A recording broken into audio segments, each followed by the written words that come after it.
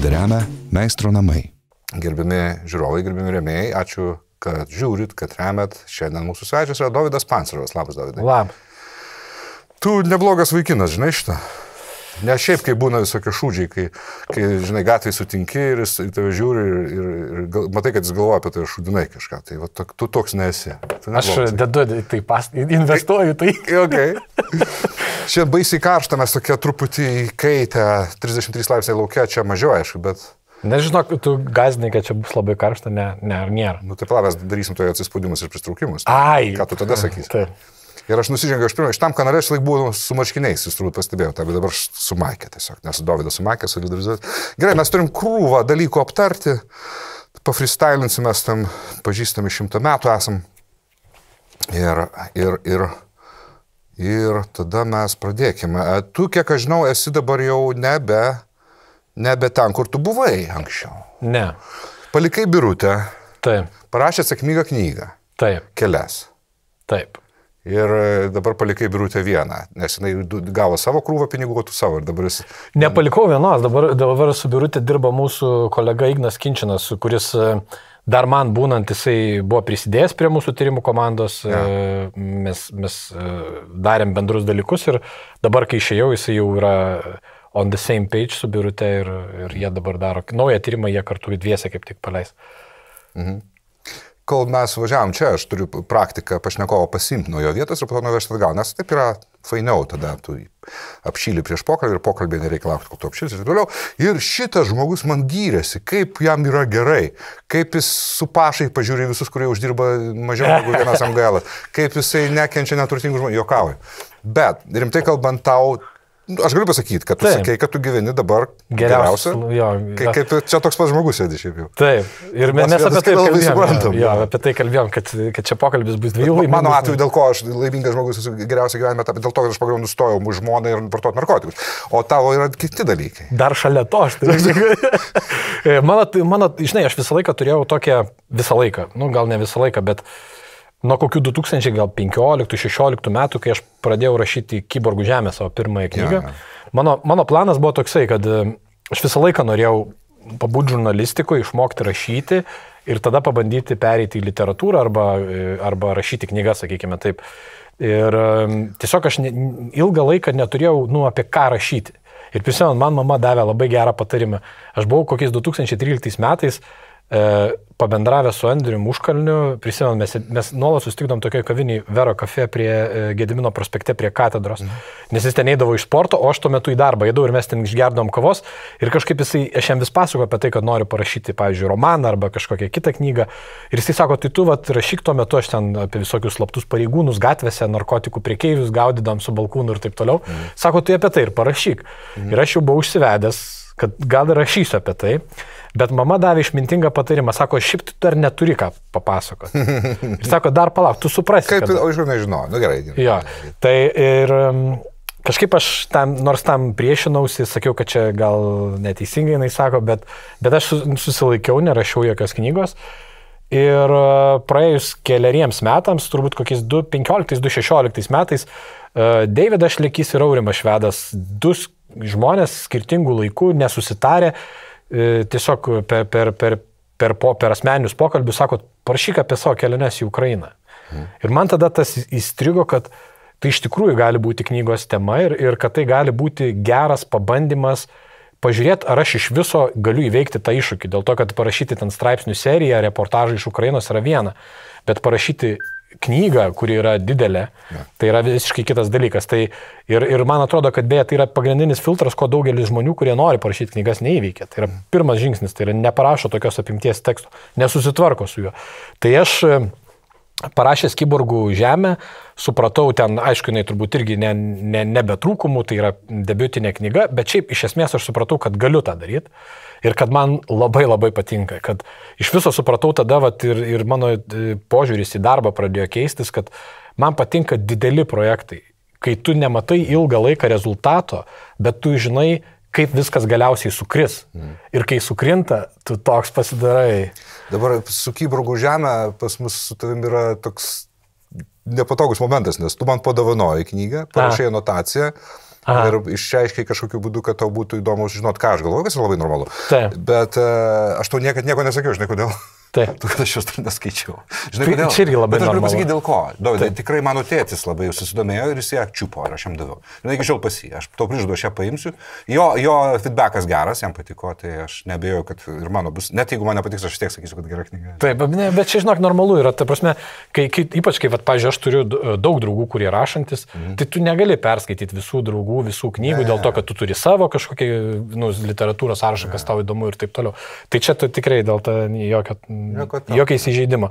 Tai žodžiu, tai vat, ir tada vat, tuo laiku, ten 16-17 metai, aš supratau, kad man patiko tie ten 4 gal ir 5 mėnesiai, kai aš gyvenau tiesiog knyga mano didžioji stiprybė yra ta, kad, e, tarkim, kasdienėme gyvenime aš dažnai nuobodžiauju, bet jeigu reikia susitelkti, va ten, keturiem, penkiem mėnesiam ir aš galiu dieną, naktį daryti tą patį. O Užsienio pa- alkoholinį, ta prasme. Taip, jo, ta prasme, at, kažkokį va tokį vieną sprintą didelį aš galiu atlikti Man su filmu tai buvo 12 kėdžių. ir paskui tada tu esi visiškai tuščias, e, nieko nebenori ir taip toliau, ir taip toliau. Čia kaip bipolinis. Nu, gal, tarkim, jo, toks da- darbo bi- bipolinis. Tai, tai va, tai kažkaip e, aš supratau, kad man toks gyvenimas patiktų ir kad man patinka dideli projektai ir, ir kadangi paskui mes parašėm kartu su Birute, e, kaip ta knyga vadina, kabinetas 339 apie Saulis Kvernelį, paskui aš parašiau savo romaną debiutinį ir dabar pranešės ir prezidentas ir per tas keturias knygas aš supratau, kad tiesiog jau yra sunku grįžti prie mažesnės apimties darbų. Tada tau atrodo jie mažiau prasmingi ir taip toliau, ir taip toliau. Tai aš ilgą laiką, va tuos nežinau kiek čia turbūt septynerius kokius metus, siekiau susikurti tokį gyvenimą, kad aš galėčiau gyventi, gal ne taip, gal, ne kad gyventi iš literatūros, bet paskirti bent jau metus kūrinį, nu, estetiniam sumanimui, kurį aš noriu gyvendinti. Man visiškai nesvarbu, ar jisai bus sėkmingas, nesėkmingas. Na, nu, aišku, jeigu galėčiau rinktis, sakyčiau, kad tai bus ir e, milijoniniai tiražai, e, ten Pulitzerio premijos ir taip toliau, bet šiaip iš esmės svarbu yra pats procesas ir, Okay. ir, ir sudėti kiek įmanoma daugiau energijos. Gerai. Tai. Ant behafo visų tų, kurie neskaitė e, prezidentas ir pranešėjas, o aš vienas iš tokių, pakalbėkim truputį apie šitą Taip. knygą. Tiesiog kažkiek paspoilinsim, kiek įmanoma. Tik tiek, tik tiek, kad būtų įdomu nusipirkti. Pirmas klausimas. Pranešėjus rašot e, kaip bendrinė savo, tai knygos yra personažas, kaip aš suprantu, pagal tikrą... Jo, mes pranešėjai rašom iš didžiosios Didžiąją raidę. Taip. Tu pastebėjai, kad šitie visa ta šunauja žurnalistinė rašo pranešėjas mažąją. Bet kuriam portale. Nu, išskyrus gal TV3.lt. Žinok, ne visur, bet esu pastebėjęs, jo, esu Tai, pastebėjęs. tai yra mūsų švietimo sistemos abstraktus mąstymo neturėjome tas debilumas, kuris mes tik dabar pamatom dar tik aisbergo viršūnę, kokie debilai auga, aš turiu minėti jaunimą. Ir jie rašo normaliu būdu, pa- pranešėjas mažąją, ir tu paklausai, kodėl mažąją. Ir tu nes, nesupranta, ką, ką, tu, ką tu nori pasakyti. Tu Taip. sakai, čia tikrinė savoka, kaip ir holokaustas. Daug kas rašo, netgi labai a, holokausto, reiškia, nu, prosemitiški žmonės, kurie Taip. baisėsi holokaustų ir, ir a, pagarbiai žiūri, tai jie rašo mažąją. Šiaip yra dar ir bendrinis žodis, žodis Taip. holokaustas, Jei- bet ne, nepamenu, ką tiksliai jisai Tai reiškia. bendrin, ne, tai holokaustas, žiūrėk, yra kaip paprastam žodynė rašoma. The Holocaust yra didžiaja, tai yra tas holokaustas. Bet kaip bendrinė, tai ir yra pavyzdys, a, ten Google žodynė arba Mako žodynė, tu rasi, jeigu žmonija taip ginkluosis, tai mūsų laukia brandulinis holokaustas. A, nu taip. ir holokaustas, tai aišku, bendrinė ir maža yra, nes holokaustas yra sudeginimas. Taip. Kaip aukojimas. Supranti, na gerai. Tai e, prezidentas ir e, dar vienas klausimas iš tos pačios, ne visai to pačio jau kitos sferos. Ar mūsų prezidentas vienu sakiniu šūdas ar ne? Ar per vidurį? Aš nesikiau, kad bus toks šoko, šokas susimastymo. Mes Aš ką, dar, dar darom per traukėlę, gal nori kavos išgerti iš atsakymą? E, Tai čia blema jau ne kavos, man atrodo, man reiktų. Ne, aš e, sakyčiau, kad jisai netinkamas mano supratimu, tai yra žmogus, kuriam būti prezidentu yra per sudėtinga. Gerai, aš truputį paadvokatausiu, nes aš matau Taip. Truputį du juos. Pirmas, tai tas, kuris e, flirtavo su šeima maršiniais ir gustuko pizzerijom.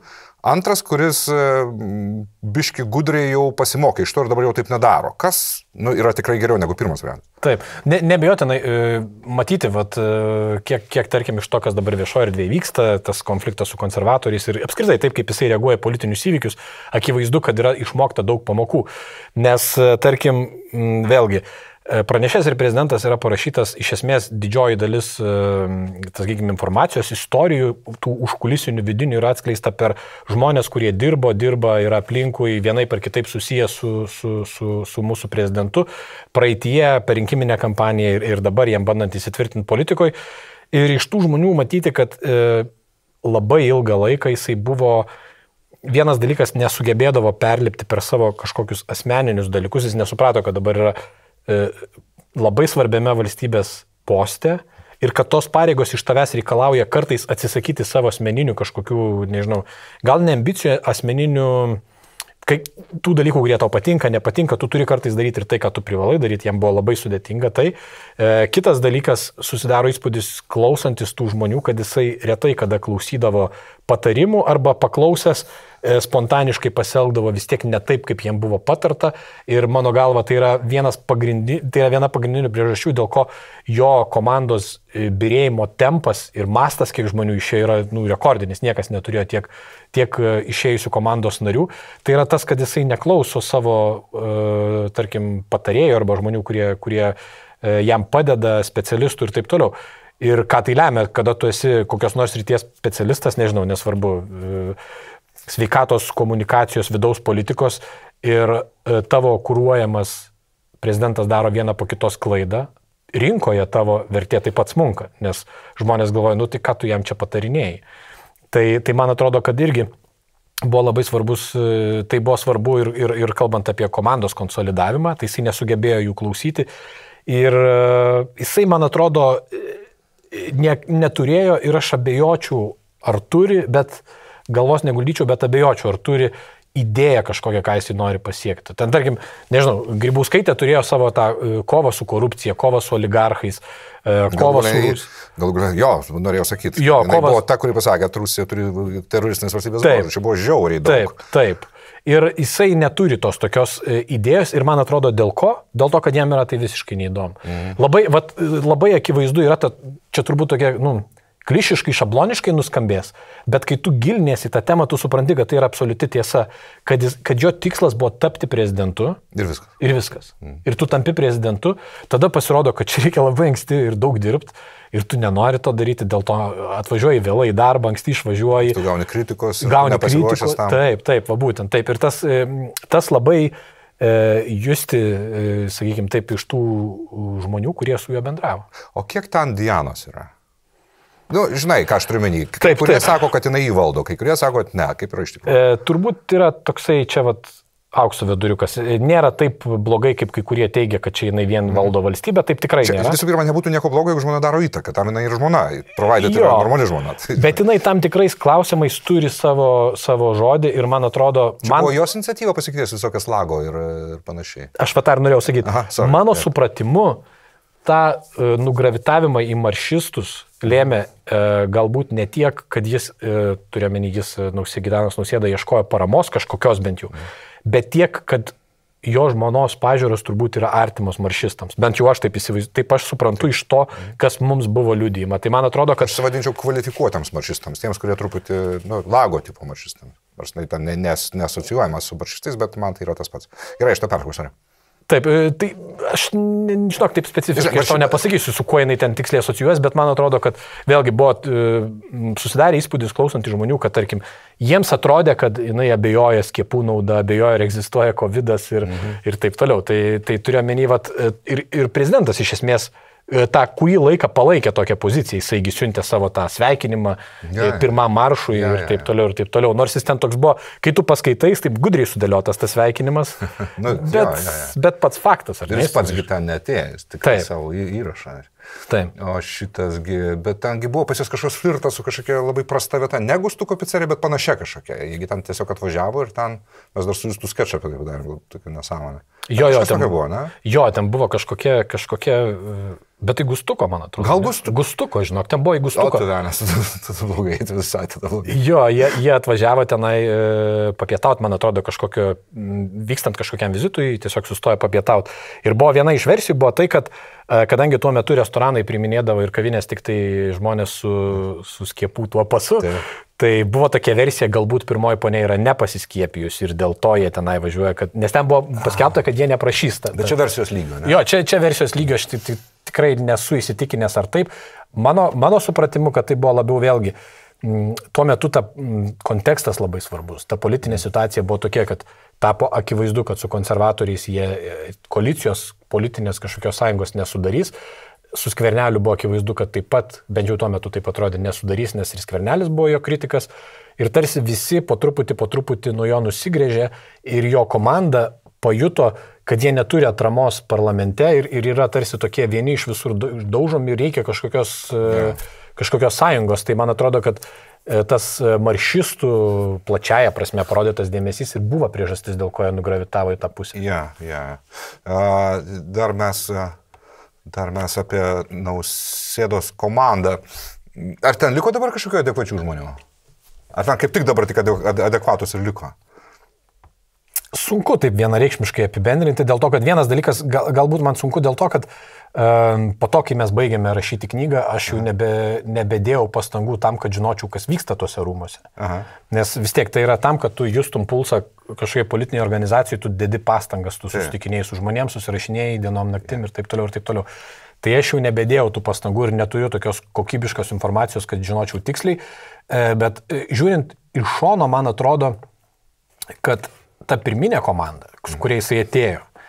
Jinai vienaip ar kitaip buvo uh, gera, profesionali ir turėjo tokio, man susidaro įspūdis, kad ji turėjo tokio idealizmo pasiekti kažkokių politinių tikslų. Mhm. Kas atsitiko, kad uh, per pirmuosius mėnesius, gal per pirmąjį pusmetį uh, pritrūko lyderio, kuris konsoliduotų tą komandą ir, ir, ir užvestų ant kelio ir, ir kad tai pradėtų važiuoti kaip, kaip tokia gerai sutepta mašina. Reikėtų cellofaną pasimti. Taip, ir, ir gavosi taip, kad jie pradėjo skaldytis į tokias mažas e, grupelės, prasidėjo tokios, nu, tokios žmogiškos vidinės intrigos, turbūt galim sakyti plėtkinimas, kas kūrė toksišką atmosferą, tau pasidaro nebemalonu tenai būti. Plus tu matai, kad tavo lyderis, tavo, tavo vadovas tiesioginis yra nuolat kritikuojamas ir jis net laiko tos kritikos. Mm. Ir, ir, ir buvo nemažai komandos dalį. Vienas iš tokių didžiausių susiskaldimų komandoje buvo reakcija į COVID. -ą. Kai prasidėjo e, pandemija, kai prasidėjo karantinas, gal tiksliau taip, e, dalis komandos norėjo, kad, e, kad prezidentas būtų toksai Makrono tipo lyderis, kuris išeina ten vienas pats viską nugalės ir taip toliau ir taip toliau, kuris parodytų lyderystę. Kita dalis komandos sakė, kad priešingai mes turėtume išlikti konstituciniuose rėmose mhm. ir, ir nemaišyti dirbti vyriausybei. Ir tarptų tų dviejų grupių buvo tam tikras susikir, susikirtimas ir vienai par kitaip buvo sukurtas planas veiksmų prezidentūroje tuo metu ir vienai par kitaip e, prezidentas nugravitavo į tą pusę, kuris sakė, kad e, veiksmų imtis nereikia ir jisai nesėmė tų veiksmų ir nemažą dalį savo komandos tai nu, taip nuvylė. Mhm.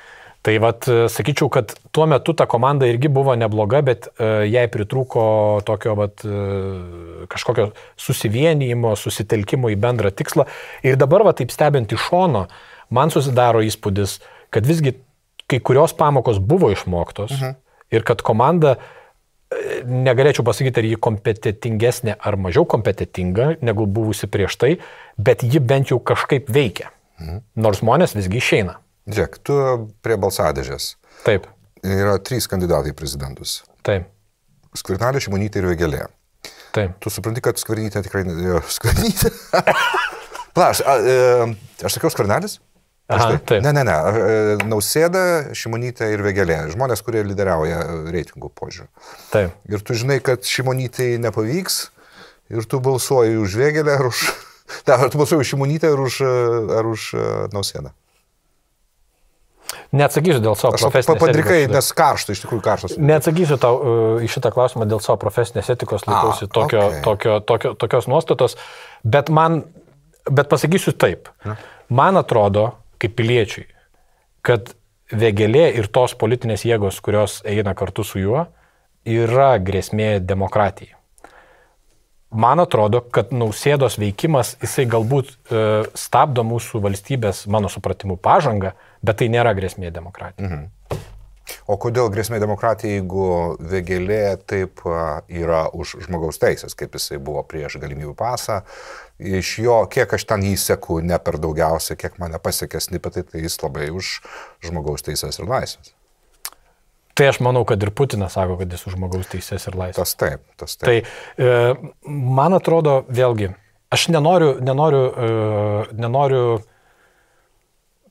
nenoriu nuskambėti taip tiesiog e, profaniškai, dėl to, kad turbūt į kiekvieną klausimą reikia būtinai įsigilinti. Man susidaro įspūdis stebint tai, kas vyksta e, politinėje erdvėje, kaip politinės erdvės stebėtojo, jo labiau, kad aš dabar žiniasklaidoje aktyviai nebedirbu. Tai man susidaro įspūdis, kad po tais visais, po to, tomis visomis e, maršistų kovomis už žmogaus teises slepiasi bandymas sukelti valstybį chaosą. Ir chaosą, kuris nėra vedantis į kažkokios problemos išsprendimą, o chaosą, kuris tiesiog sutrauko esamas demokratinės struktūras ir leidžia iškilti tiems, kurie e, demokratijoje šiaip neiškiltų dėl savo nekompetencijų. Filosofinį klausimą tai užduosiu, aš pats dažnai galvoju apie tai ir dažnai Taip. su žmonėms čia aš neku, kurie būna studijoje. Nu, šeimo maršiniai, vadinkime juos tą antrąją lietuvą ir panašiai. Tai aš šaudik mane, bet aš tikrai nemanau, kad jie absoliučiai visi yra kažkokie blogiečiai. Bet e, prie vadovaujančių jiems aš matau žmonės, kurie yra banaliai teisti. Ar, ten, ar, nu, ar vadovauja, ar yra aš kartu su jais idėjiškai, visai šalia yra asocijuojami. Ar tai būtų Butkevičius teistas, ar tai Lobovas, ar tai Celofanas, ar tai Furma, ar tai krūva, didžiulė krūva visų kitų, kur aš visų žinai, ar, ar tai būtų Spaskikas. Taigi visi yra teisti baudžiamąją tvarką. Taip, Tai ar tu apie tai pagalvoji, Dovydai? aišku, pagalvoju apie tai. Ir ką tu apie tai Pagal- galvoji? Žinai, kaip e, pasakysiu, be jokio tokio nu, perspaudimo, e, man iš tikrųjų buvo, nu, žinai, mes kai stebim nuolat viešą erdvę, kai stebim, kas vyksta Ukrainoje, turiu omeny dar net iki šitos karo stadijos. Ne. Tu stebi tuos įvykius, žinai, kaip veikia Rusija ir taip toliau.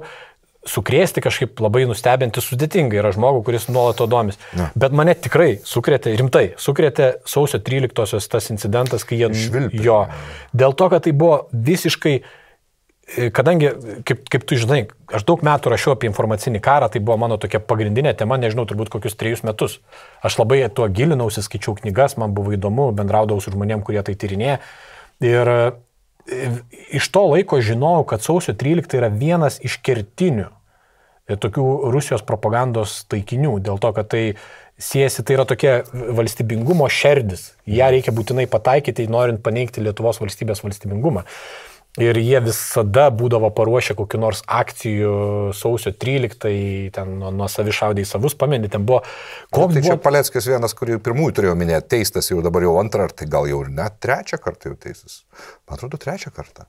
Pirmas buvo mm. šmeištas sausio 13, kažkas tokio. Taip. Antras buvo, čia galbūt tas ir buvo. Na gerai, ne, nes, dar Minimum, minimum antrą. kurstimas nebuvo, man atrodo. E, Minimum antrą kartą, nes šį, šį kartą jis už šnipinėjimą. Taip, taip. Taip. Tai ką aš norėjau pasakyti, tai ir pamatyti, kad tuo metu aš jau, aš buvau vienas iš tų žmonių, nežinau kaip tu beje, aš, ku- kuris laukia karo, kad prasidės karas, aš maniau, kad karas bus. Turiu minį prieš metus. Jo, jo, turi Invazijos fazę. Taip, taip, taip. Ir tuo metu sausio 13 jau buvo ta nuotaika, kad galbūt vasario 16 galėtų prasidėti tas polimas, tai buvo, kalbėjo Britų ir Amerikiečių žvalgyba. Ja. Ir ta nuotaika, aš labai gerai prisimenu, buvo nerimastinga žmonėms, kurie, kurie sekė tą erdvę. Ja. Ir tu matai, kad tavo valstybei per sausio 13 kažkokie buduliai ja. ateina kartu su Paleckiu. Ja. Ir švilpia. Man, tai buvo, man tikrai tai buvo sukretimas, aš tada netgi pagalvojau, kad galbūt tas karas, kurį aš, ta karo stadija, kurią aš e, tikėjau prasidėsiant, kad ji gali išsiplėsti netrukus ir kažkaip kažkuria prasme ir į kitas valstybės. Tai man buvo tikrai, va tai buvo toksai pirmą kartą, kai aš pajutau, kad nu, Lietuvos valstybei e, ne tik, kad bandoma kažkaip ten pa pakiršinti, pasiubuoti tą laivelį, bet kad tai yra tikra grėsmė. Tai vat, e, čia kalb, tavo klausimas buvo apie tai, e, apie maršistus. Tai vat, mano kažkaip Apie visą jų. jo visą šitą judėjimą, nes e, ir, ir aš visiškai sutinku su tuo, ką tu sakei pačioje pradžioje. Aišku, kad tarp jų yra uh, žmonių, su kuriais tu gali kalbėti. Nes tarp kitų labai daug atkrito, nes aš Taip. manau, kad daug kas jų praregėjo. Taip. Matė, su kuo susidėjo tiesiog. Taip, ir, ir gali suprasti, ta prasme, jeigu taip įjungi vat, žmogų, kuris bando suprasti, ar ne, tokį Pirsą Morganą. Jeigu įjungi Pirsą Morganą savyje, tu supranti, kodėl dalis žmonių su jais nuėjo. Jie iš tikrųjų ta frustracija per, per, per pandemiją, jie galbūt jų informacijos šaltiniai nuolat kalba apie tai, kad čia blogai elgėsi vyriausybė. Aš, net... aš labai svarbu, aš noriu pridėti šitą Taip. vietoj. Taip pat ir uh, jų akimis ir visai visai teisėtai juokiamis atrodanti pakankamai arogantiška komunikacija arba jos arogantiškas nebuvimas tiek iš Imonytės, tiek iš Gabrieliaus. Taip. Čia yra jų didžiulės klaidos, nes Taip, tai aš vat, su, su visu tuo sutinku. Tu gali suprasti, kodėl dalis žmonių nugravitavo į tą pusę, ar ne? Ir, ir jie kažkaip galbūt nuoširdžiai tikėjo, kad, kad, kad, žmo, kad tie žmonės, tie maršistų lyderiai kažkaip galėtų pakeisti šitai, ar ne? Bet yra viena, viena taisyklė, kad tu niekada negali eiti paskui lyderius, kurie kalba neapykantos kalba. Jie vis tiek, kal, ta prasme, niekada nebus gerai nesibaigs, jeigu tu nueisi paskui žmonės, kurie neša vėliavas ir ne kažko nekenčia. viskas ant to ir pastatyti. Taip, būtent. Kad, Taip. kad tas blogai, tas blogai. Taip, taip. Tu negali, tu, A, jeigu tu seksi, visada baigsis taip pat. Visada baigsis taip pat. Aš žinai, aš atsimenu, mes su Audrim Bačiuliu mūsų kanale aptarinėjom tą švilpimą. Baubikais juos tada vadinam, atrodo. Baubikai buvo tada išėjęs žodis. Ne, buvo švilpimas ir baubimas. Mm. Tai e, švilpikai ir baubikai. Tai e, aš iškėliau tą klausimą, kadangi buvo e, Paleckis šalia. Taip, buvo palicis. Ir sakau, žiūrėk, tengi buvo daugybė tokių, kurie bent jau sakė, kad jie ir sausio 13 stovėjo. Taip. Ir prieš 30 metų. Ir dabar vėl ten. Ir sakau, jie pamatė savo gretose Paleckį, kuris sako, kad tada savi šaudė į savus. Ir ne vienam, ne, ne, nebuvo taip, kad nors vienam žmogui net laikytų nervai ir jis duotų Paleckį snukį. Taip. Tai a, mūsų kanale po to atsirado tos Lietuvos komentatorių, kurie sakė, tarsi, jie nesuprato, ko aš turiu minėti. Jie sakė, taigi negalima mušti. Aš suprantu, kad negalima ir tai būtų buvę blogas veiksmas, neteisėtas. Bet, then again, nei vieno neatsirado toj minioj, kur allegedly buvo tokių, kurie tada gynė Lietuvą savo Taip. kūnais. Nei vieno neatsirado, kuris tiesiog spjautų arba duotų snukį Paleckiui. Išmestų galiausiai iš tos minios. Išmestų. Tiesiog išvedai. Arba išėtų patys. žinai. Taip. Tai, Tai- tai va, tas yra faktas žiauriai iškalbingas. Ne? Bet žinai, bet aš manau, vat, e, grįžtant prie, to, prie tos minties, su kuria mes abu sutinkam, kad, e, kad ten ne visi yra, nu, vat, kažkokie kenkiantis Lietuvai, ne, kad ten yra visokių žmonių ir... Aš ir taip labai toliau. manau, aš manau, kad ypatingai svarbu jų nežeminti. Taip. Ir tai sakau aš žemintojas, bet šiuo atveju aš manau labai svarbu tą ir aš visiškai nuoširdus esu. Tęsk. Taip, tai, tai man atrodo, kad, žiūrėk, visais laikais, kiek, kiek, kiek vat, būdavo visos tos tokios um, atsiradusios kažkokios provokacinės iniciatyvos, judėjimai, kurie kažkaip siekdavo destabilizuoti arba, arba kiršinti padėtį valstybėje. Ja. Tai visą laiką gi būna ten keli kažkokie, kas uh, gauna pinigus, keli kažkokie, kurie yra tiesiog idiotai su iniciatyva ir daugybė, kurie tiesiog juos seka. Tai man atrodo, čia yra irgi nu, absoliučiai tas pats. Tai, pavyzdžiui, man, man sunku patikėti, kad, tarkim, celofanas, jisai visą tai daro už dyką ir Sakai. jo, aš, tai, nu, ta prasme, man būtų labai sudėtinga tuo patikėti. Nes vėl nežinau, aš. E, nu, jis yra felonas, daug kartų konviktintas. Na, Tai ką čia dar kalbėti. O, pavyzdžiui, e, pavyzdžiui šitasgi Zakaral, e, Orlauskas. Taip. Jis nėra teistas. Bet jis yra pakeitęs partijų kaip koinį, tris mažiausiai. Taip. Ir, pavyzdžiui, Valinskas mano, kad jis gauna pinigus. Aš manau, kad jis ne- nelabai gauna pinigus. E, Man Aš atrodo, greičiau, aš greičiau būčiau su Valinsku. kad gauna. Mhm. Bet tu, ar sutiktum, kad ir mūsų, vadinkim, pusėje yra irgi kažkiek paranojos, kad jeigu, pavyzdžiui, toj pusėje, ką tu padarytum, ką tu be nusiperstum, ar ta, tapinas bairaktaram renka pinigus, ar tu, Taip. tu ką nors gero padarai parašykinį, visada, absoliučiai visa ta jų pusė, tos visos Janutinės ir Fulmos, sakys, kad tai už pinigus daryti. Taip. Ir, ir vėgelės. Bet mūsų pusėje to irgi esama. Ai, visiškai sutinku, jo. Sutinku. Ir tas nėra gerai. Bet natūralu, man. Nu, atrodo, natūralu, Tai, jo, tai yra taip žmogiška, kad nu, tu visą laiką demonizuoji priešą arba oponentą šiuo atveju. Nu, Kiek tai tau nepri- sumokėjo? Sumokėjo? Bet, bet žinai, bet e, nu visos tos, sakykime taip, e, ankstesnės patirtis tokių judėjimų jos parodė, kad visgi tame būta tiesos. Paleckis galiausiai paaiškėjo, kad su kuo jis bendrauja. Tas pats atsimeni, buvo toksai, aš nepamenu jo pavardės iš šiaulių, toksai kaip nacis rengdavosi, toksai... kažkoks- Razminas? Razminas, Jo. va, teisingai. Aš miltelius! Taip, o tu pameni, kad jiegi visi, jie visi dalyvaudavo tose, nu, tokiuose ten e, prorusiškose protestuose. Aš ne, ne, nenustepčiau, jeigu ir dabar jisai kažkur dalyvavo. Irgi paskui pas juos buvo kratos, pas Razminą tą sekspertę, ten visos tosgi paaiškėjo, kad jie visi... Nepameni? Nieko nežinau. Seta Mil dabar tu šiuo atveju. Jo, ten- Papasakok, aš nieko nežinau. Aš žinok, nepamenu apie ką ten buvo, bet tu nepameni, kad buvo pas juos policija, ten Ne. buvo kratos. Ne. Prisimenu, tada dar buvo toksai e, lyksas, iš Rusijos, ha, kažkokie hakeriai, kažkokia hakerių komanda, tiesiog Nerius Maliukevičius parašė, čia buvo kokie 2015-2016 metai, e, kažkokia hakerių komanda e, nulykino e, Rusijos, nu, Kremliaus administracijos kažkokių ten įvairių darbuotojų emailus. Mhm. Ir vienas iš jų buvo Duginas. Atsimeni Duginą, Putino tą tokį ideologą. Tokia aš dalyvavau jo dukros laidotuvėse. Dar jos. Nu. tai, tai jau maždaug tais laikais. Aš atsiprašau, jeigu kam pasirodė tai ciniška, tai aš ne, nepamirškit, kad ta jo dukra absoliuti nacistė savo elgesiu pagal faktą. Testą. Taip, tai, tai buvo tarp Dugino laiškų, e, buvo rasta e, Razmino, man atrodo, kad Razmino prašymas išvaduoti Lietuvą nuo nacistų, nes čia e, maždaug e, nacistai užėmė Lietuvą ir taip toliau, ir taip toliau. Taip. Tai, Bet, nu, tai, bet tai kontekstas buvo, kad jie gavo pinigų. Kontekstas toks buvo. Kad jie ten galėjo rašyti dugnų rašyti, aš net nebejoju. Tai tarsi, jie ten, ten, ten galvojo. Ne, aš turiu omeny, aš turiu omeny ne, ne apie pinigus, turiu omeny, kad jie buvo susijęs su Rusija. Ir vienaip ar kitaip. buvo, tai Ir vienaip ar kitaip. Ir, ir turiu omeny, kad, ką aš norėjau pasakyti, e, tu, manau, aš sutinku su tavim, kad mes taip pat demonizuojam tą kitą pusę. Jo. Jeigu įsivaizduodame, kad ten visi dirba už pinigus. Nu, kai kurie iš mūsų. Aš Bet- stengiuosi būti. Nu, Taip, okay, taip. Jo, bet prieš tai buvusios praktikos